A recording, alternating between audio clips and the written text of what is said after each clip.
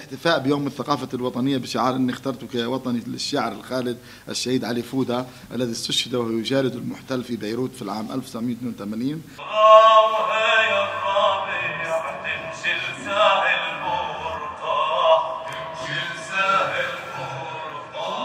ولد حسين نازك عام 1942 في مدينة القدس.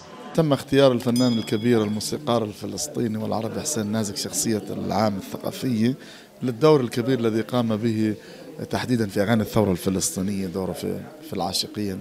وفي المجموعات الفنية المختلفة.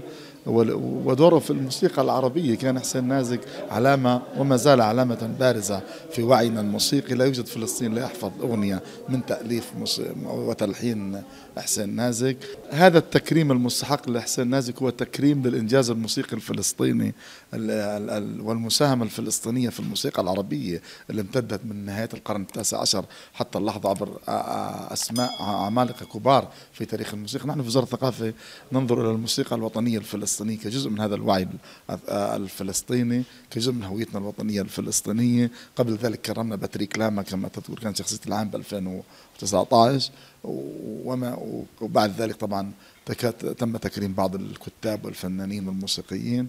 اختيار شخصية العام هو جزء من الوفاء المستحق للفنانين والكتاب بدورهم في الثقافة الوطنية الذي نحتفي بيومها الوطني الذي يصادف ميلاد شاعر الفلسطيني الكبير محمود درويش.